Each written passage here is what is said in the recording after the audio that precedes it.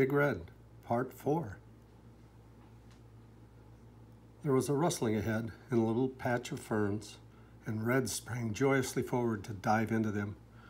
Ross broke into a little trot, and when Danny came up beside him, he was looking at the brown entrance of a burrow in the center of the ferns.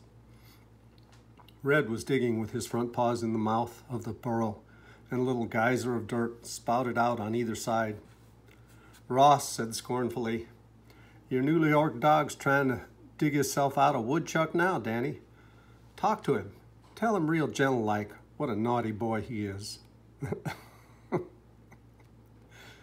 oh my. Chapter 5 Red's Education. Danny shifted his feet uncomfortably and looked from the growing pile of dirt behind Red to Ross. The big setter, shoulder deep in the hole, came to a turn and swerved to dig in this new direction. Danny reached down to twine his fingers in Red's collar and drew him out of the hole. Come out of there, he said as roughly as he could. The big dog stood panting as he gazed eagerly back down the hole. He made a little lunge as though to get back in, and Danny took a firmer grasp on his collar. Red bent his head, snuffling at the hot scent of the woodchuck in the hole. He whined eagerly. Ross's frozen face melted. Don't look so miserable about it, he said. All the dog needs is some more teaching. Any tenderfoot dog worth its salt is going to chase any kind of varmint. But what a varmint dog this'll make. Danny gulped wretchedly. What should I ought to do about it, Pappy? I'd give him a hiding, Ross suggested seriously.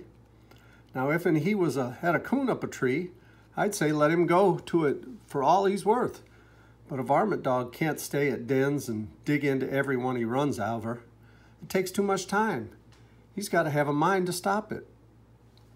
But you can't give Red a licking, Danny said desperately. He's too smart and sensitive. Given I licked him, he, he'd have no trust in me anymore. Do tell, Ross scoffed. The dog was never born as didn't need to have some sense licked into him at least once. But as I said before, it's your dog. Bring him along and we'll get on with our fishing.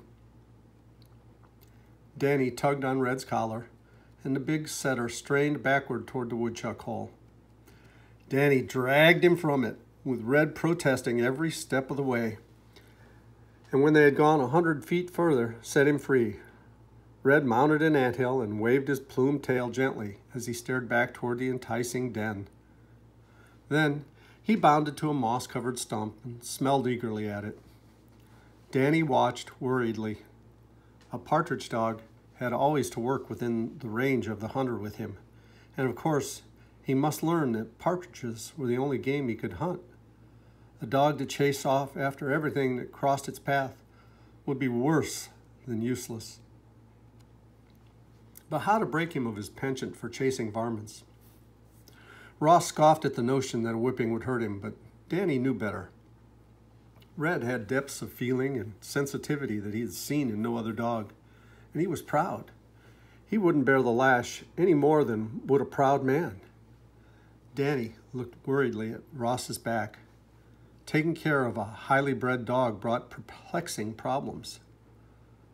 A small buck with ragged shreds of velvet clinging to his nearly matured antlers, stepped from behind a beech tree and stood looking at them. Ross halted. The wind shifted, carried to the buck the scent of human beings, and with a rasping snort and a mighty leap, he hoisted his white tail over his back and bounded away. Ross lifted the fishing rod he carried and with the imaginary gun followed the buck's course. He turned to grin. I could have had him. I could have had him three, four times while he tore through the trees that away. Reckon you could, Pappy, Danny agreed. He'd seen Ross bring down a buck running through slashings and a hundred yards away. But he was studying red and heaved a great sigh of relief when the big setter betrayed no more than a passing interest in the buck. Deer scent, he knew, was the most pungent and exciting of any scent. Probably the hardest part of training any dog was to teach it not to run deer. And a dog that would run them was almost incurable. Danny had known of deer running hounds to follow eagerly a scent two days old, but most hounds took naturally to running deer, and most settlers would do so only if their interest in deer was deliberately encouraged. 200 yards further on, they flushed a doe and her adolescent fawn, and Red merely looked at them. He fell in beside Danny, and Danny reached gratefully down to stroke his ear. They came to a sunlit meadow with a tangle of blackberry briars at one end and lush wild hay carpeting the remainder. Smoky Creek brushed the far side of the meadow and broadened into a long pool deep at the upper end and shallow at the lower. The shiners Ross wanted swarmed in the pool, and there were a few big bass there. Trout occasionally came into the pool, but preferred the more secluded and shadier portions of the creek. Red left Danny's side and darted swiftly forward. He paused to look back, then advanced another ten feet. Ross stopped perplexedly, studying the dog as he lifted one forefoot and held his tail stiffly behind him. Danny exulted, and some of the anxiety that had sat so heavily upon him since he had discovered Red's bent for chasing varmints departed. He knew these signs. Red was on a partridge now, and if he was somewhat clumsy about it, he still was not doing badly for a dog that had had no training. Danny laid the rod and can of bait he carried on the ground and stooped to pick up a stone. He walked quietly forward, grasped Red's collar, and cast the tone, stone into a small patch of blackberries at which he was pointing. A partridge thundered up and soared across the meadow into the beech woods.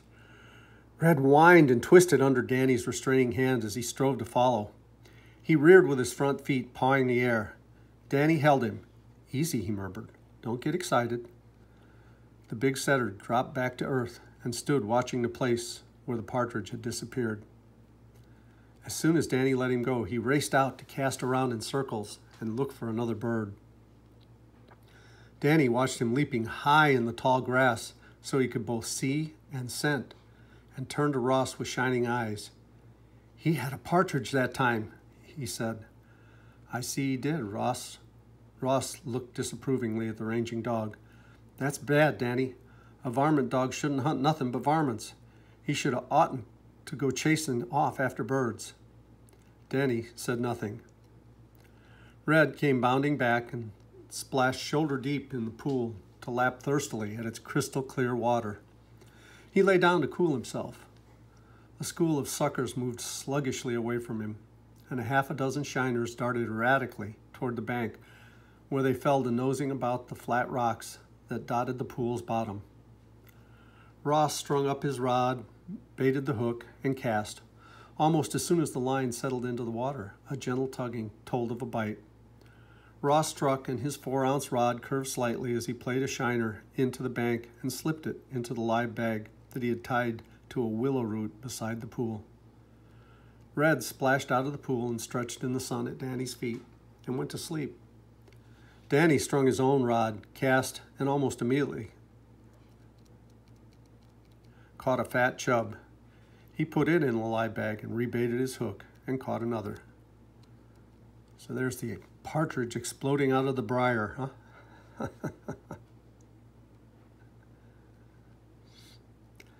There was no sport in catching chubs and shiner, but fish was the basis of almost every scent that he and Ross used on their far-flung trap lines when winter came. And they took a major portion of their livelihood from trapping. For two hours they fished until the live bag was swarming with shiners. Then, instead of the gentle tug that told of a shiner nibbling, Danny's line darted straight across the pool. He let it go, feeling through the line the wand-like rod that a big fish was on this time. The line stopped moving, and Danny waited tensely with two feet of slack looping from the reel. You better draw your line in, warned Ross. I got a bass out there fiddling with my bait, and he feels like a big un. Given I catch him, we won't eat side meat for supper. Again, the line began to move, and Danny struck hard, out in the black pool where the taut line dipped into the water, there was a swirling little ripple. Far out, a gleaming, bronze black bass, broke water and splashed back in as he strove to shake the hook. He bore down toward the bottom, and Danny paid out more line as he let him go. The rod, one that Ross himself had made, bent almost double. Danny elevated the tip to let the fish tire himself against the spring and stripped in 10 feet of line as the bass surged toward the bank. Red rose and stood watching. Hang on, Ross yelled. He's a nice one. I'm a trying to, Danny panted. The bass turned back into the pool, and Danny paid out the line that he had retrieved. Again, the fish broke water, rising high above the surface and falling back into it. He began to run in little circles that grew shorter as he became more tired, and Danny played him toward the bank. Slowly, he fought the bass into the shallows, and Ross waded out to stand knee deep in the water. He ran his fingers down Danny's taut line, fastened them to the bass's gills, and lifted him triumphantly free of the pool. Four pounds, he gloated. Danny, I disremember any such bass taken from Smoky Creek before. He sure is purty, Danny agreed. And he'll go plenty good for supper, huh? You bet, Ross agreed. What say we catch a half dozen more shiners and go home? It's nigh on to evening time. They fished ten minutes, added six more to the bag of shiners, and dismounted their rods. The sun was sinking in the west, and a golden aureola glowed on the summits of the tallest mountains. Far back in the forests, a fox yelled, and the wan, sad cry of a mourning dove came from the nearby beaches.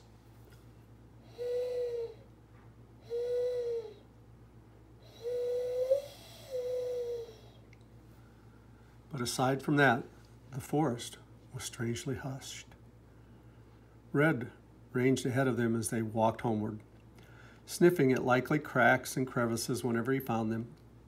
And when he passed the woodchuck hole, he sniffed long and deeply at it. But few of the wilderness creatures were moving. They came to the fence, and Danny lifted it to let Red crawl under.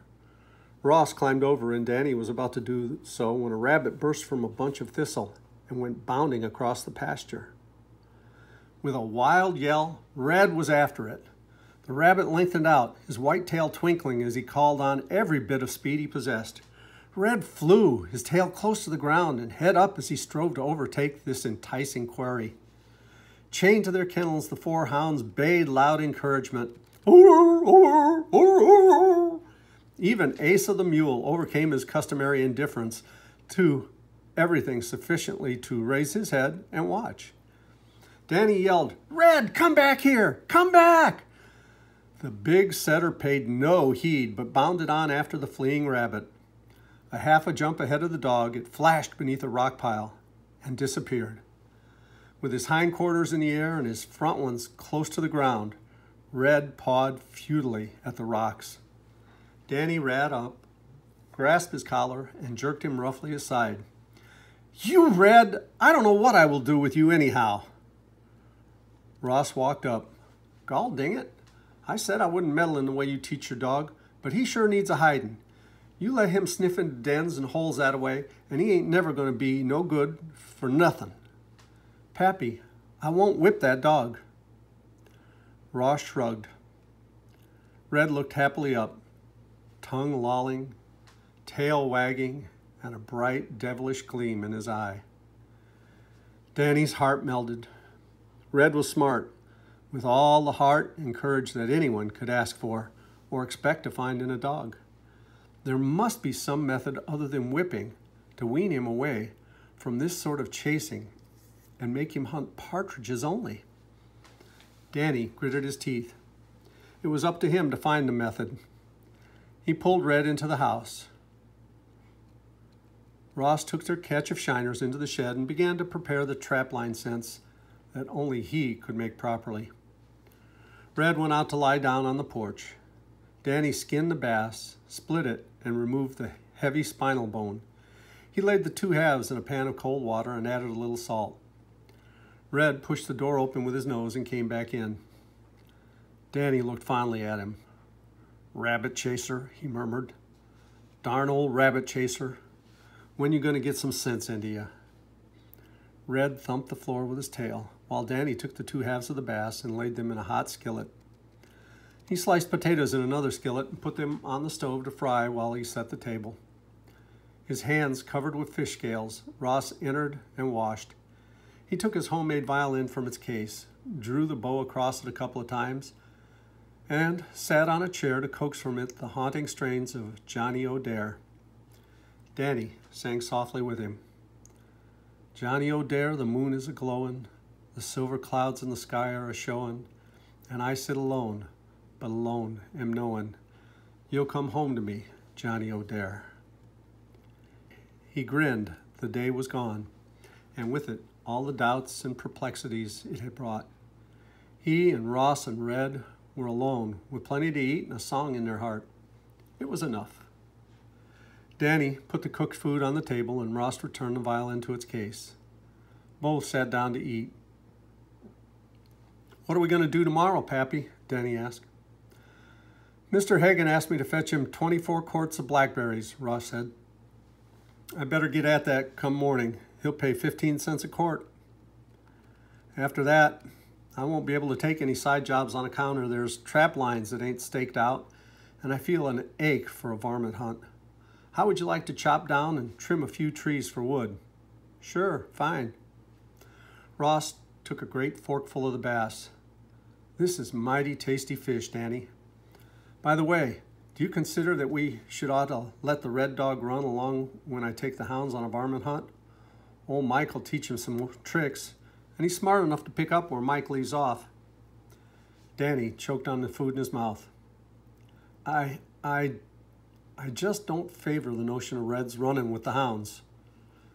Ross looked at him a little resentfully. Well, it's your dog. Danny went out to sit on the porch, while Red sat beside him and poked his nose into Danny's cupped hand. This was mighty serious.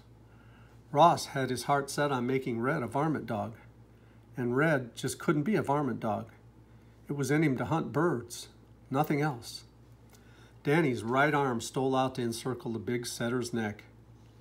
You gotta be a bird dog, he said. You chase them little varmints because it's fun, but at heart, you're a bird hunter. I sure wish Pappy'd understand. How are we gonna make him? Ross was already in bed when Danny re entered the cottage and sought his own cot. And though Danny was up with the sun, Ross had risen, prepared his own breakfast, taken his picking pails, and departed for the blackberry thicket. Danny milked the cow, fed Asa and Red, ate a great heap of pancakes, and took a razor keen, double bitted axe from its rack in the closet. He went outside, strung Asa's leather and chain harness on the bony old mule, and hooked a long chain into the single tree that dragged behind. Asa followed indifferently when Danny started toward a stand of yellow birch that had grown up in the beeches. Mr. Hagen, who owned most of the beech woods as well as the great Wintapi estate, didn't want any other trees cut as long as there was scrap wood like yellow birch around. Red ranged before them, sniffing at likely thickets and bits of brush along the way. He came to a stiff point beside a clump of laurel and held it while Danny flushed two partridges. Red made an eager little jump forward and stopped. Danny forgot to breathe. The dog was smart, plenty smart, and getting the idea that it was not right to chase the partridges he pointed. Danny frowned. If only he could get the same idea about varmints. But how to teach him without resorting to violent methods? I think you're doing it out of devilishness alone, Danny murmured, more to himself than to the dog. Doggone it, Red, why can't you stop? A hundred feet further on, Red had an ecstatic time chasing a chipmunk that was rooting in the falling leaves of a beechnut. And a little beyond, he tore through the woods after a fleeing rabbit. Danny swung his axe and lopped down the thick weeds that were growing up beside the trail. Shouting at Red as he had proven yesterday, did no good. Maybe, after all, he would have to use the choke collar and drag rope. He came to the stand of yellow birch and hitched Asa to one and set to work felling the slender little trees. Most of the day he worked, chopping the birches down, trimming the branches from them, piling them in a great heap.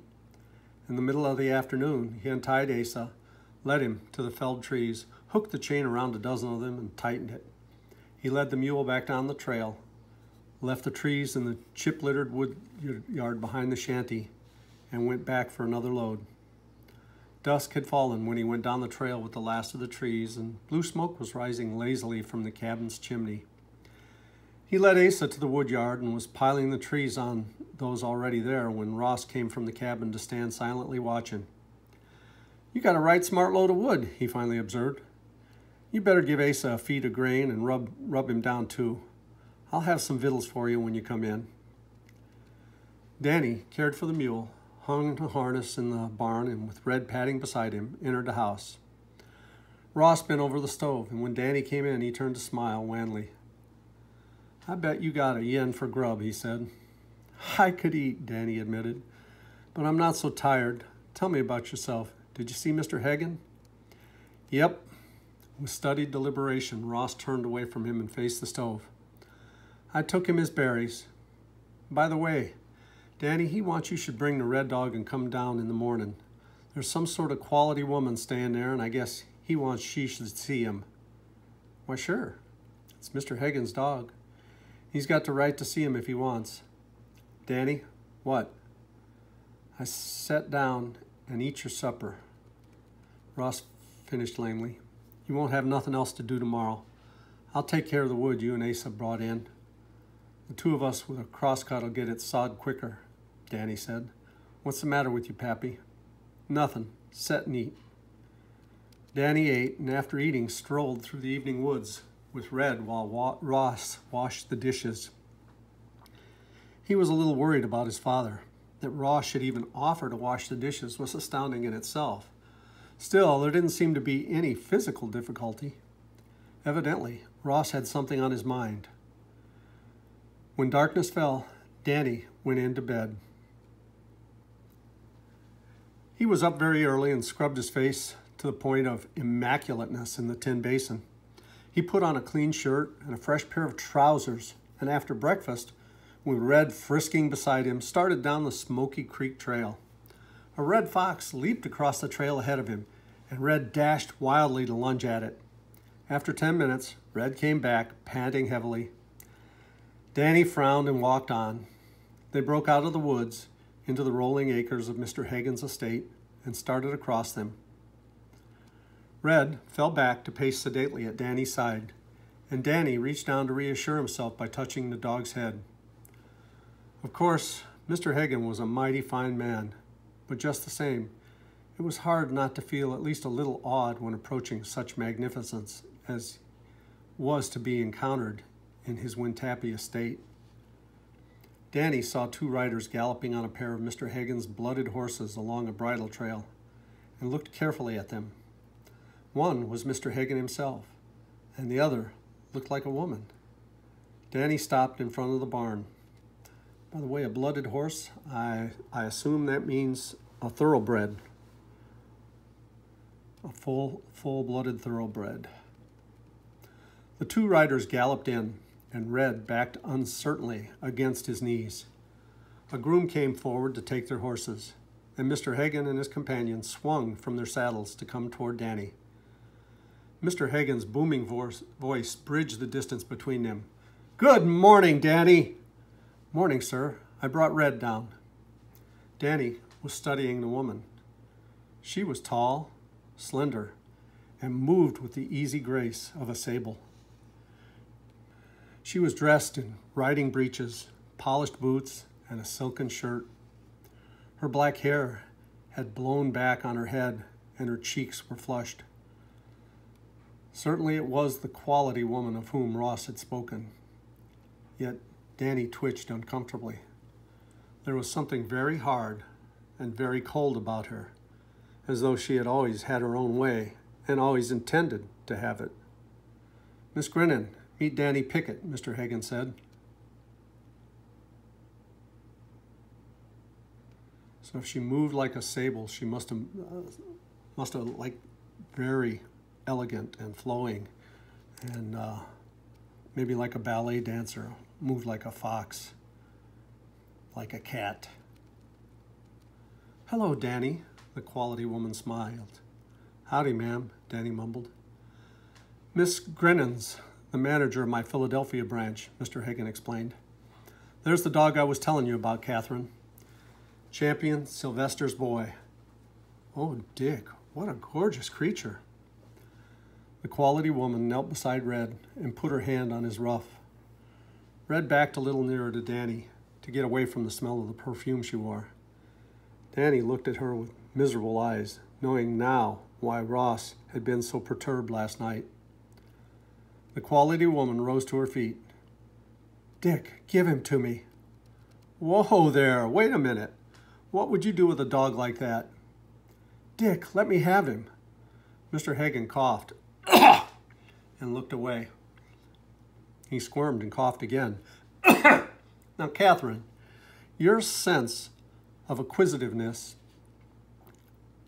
acquisitiveness, I think it's uh, a form of the word acquisition. She's trying to acquire the dog. Oh, you silly. Let me have him for six months and show him off in Philly. I can't let you have that dog. Why not? Danny? Catherine grinned and smiled again. What do you say, Danny? Well, I sure wouldn't like to see Red leave here. The quality woman was very cold now and very hard. I know you wouldn't, Danny, but it isn't your dog, is it? It belongs to Mr. Hagen, doesn't it? Danny said manfully, Yes, ma'am. There, she said triumphantly. Now let me have him, Dick. Mr. Hagen looked at Danny. Do you think she should take him? It's your dog, Danny said. There, old Iron Man, the quality woman said. You can't have another thing to say. Anyhow, he'll be back in six months. Mr. Hagen shrugged helplessly. Danny, do you want to leave him now or bring him in the morning? Well, Danny hedged, I could just as leave bring him in the morning and save you the bother of feeding him tonight. Do that, Danny, the quality woman smiled. I'll be leaving at eight o'clock. With Red beside him, Danny turned miserably away. He swung from the trail to the foot of Misty Mountain and started up its slope. When Red dashed after a squirrel, Danny only looked dully at him. The big dog might as well have his fun. Tomorrow morning, he was going to Philadelphia. And that was almost as big as New York. There'd be no forest there, nothing except pavement and little patches of green grass that were called parks. With the back of his hand, Danny wiped the tears from his eyes. The quality woman didn't really want a dog or know what a fine dog was. She wanted Red because he looked nice and would compliment her own faultless groomed self. Every morning, probably, she would take him walking on a leash, and the rest of the time, he'd spend chained to some little kennel where there was just enough grass for him to scratch in. It wasn't right to take a dog like Red away from the life he was meant for. The bushes moved, and Red dashed happily in to chase whatever small creature was moving them. A little further on, he pointed two grouse, and Danny didn't even try to keep him from running after them when they flushed. All day he walked up Misty Mountain, down its other side, and into the nameless gullies and ravines that lay beyond. It was his last day with Red. True, the quality woman had said that she would bring him back in six months, but Danny didn't believe it. Once she got him, she'd find some excuse for keeping him. Darkness had fallen when Danny swung back to the clearing in the beech woods and stamped wearily into the cabin. Ross was there, sitting at the table, staring at the flickering kerosene lamp. He turned blankly around. Quality woman down to Mr. Hagen's, Danny explained dully. Mr. Hagen gave Red to her. She's taking him come eight o'clock in the morning. I got to fetch him down then. Ross nodded. I figured she'd try to get her hooks in him, given she saw him. I pegged her for that kind. What are you going to do about it, Danny? Take him down, Danny said hopelessly. It's Mr. Hagen's rightful dog. He sat miserably on a chair and pecked at the food that Ross put before him and pillowed his chin in his hands. Ross filled and smoked a pipe, something he did only in times of great stress, and there was a long silence. You know what, Danny, he said finally. If I had the money cost of that dog, I'd buy him and give him to you. We haven't got $7,000, Danny said bitterly. We haven't even got $70. That's right, Ross said tiredly. Danny rose and sought his cot, praying for sleep that would not come. Sleep brought forgetfulness, and if he could forget for only a few minutes.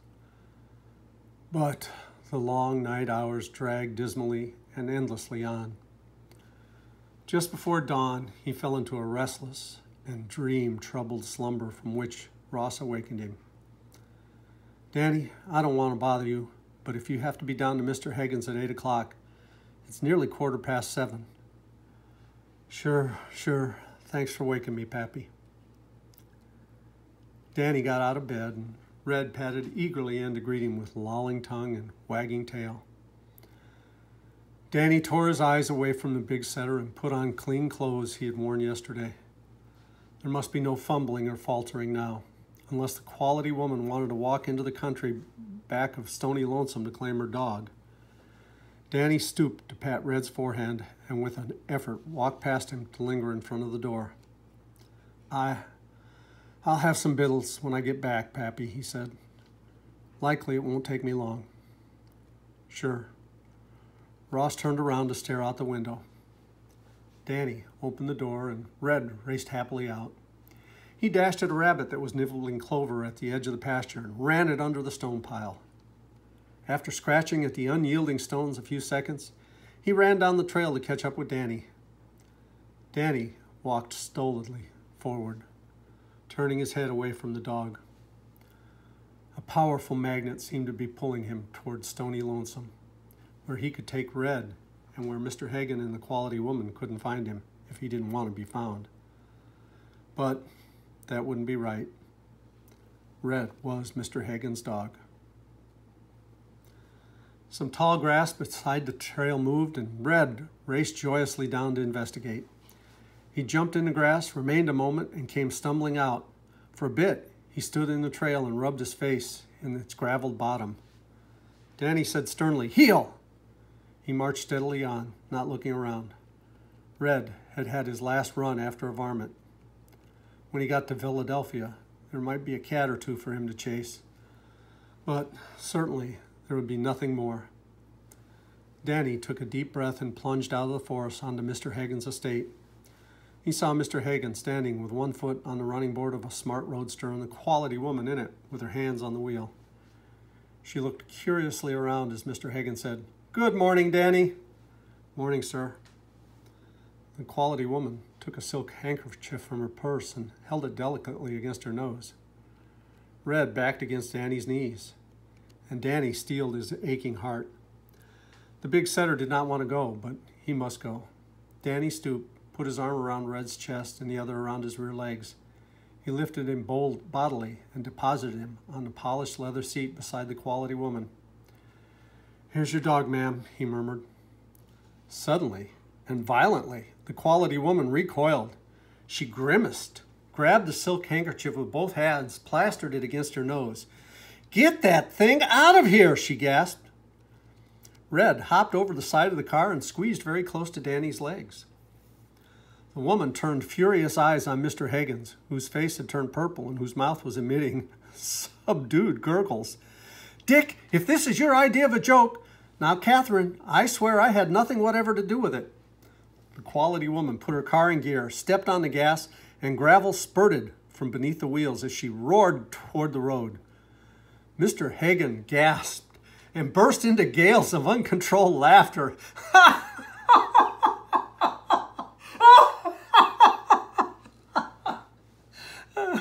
Danny watched wonderingly. Oh, Lord, Mr. Hagen said at last, that's the best I ever saw.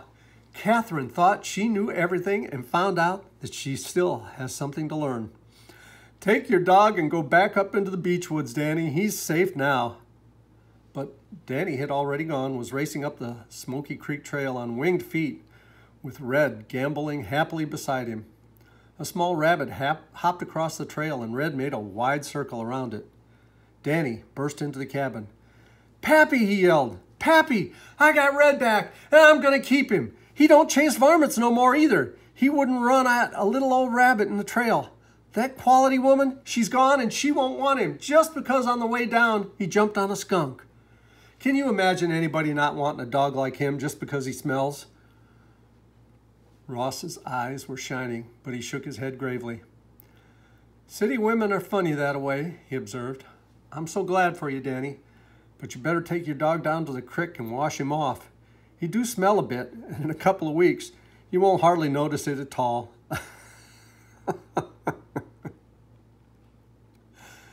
Chapter 6 The Leaves Rustle.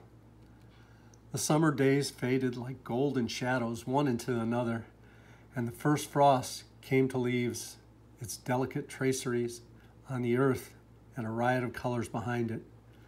Danny went into the deep woods with Ross, packing loads of traps and caching them in hollow stumps and caverns where all traces of man scent would be eliminated.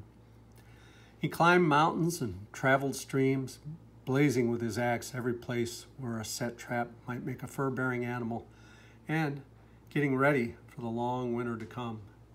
But when he was not doing that, he was abroad with Red.